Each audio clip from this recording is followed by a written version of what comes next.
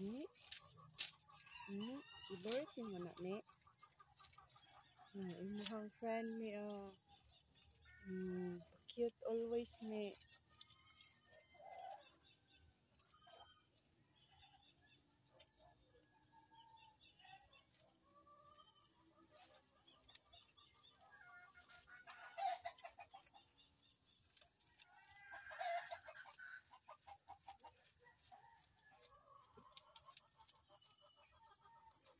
mainan.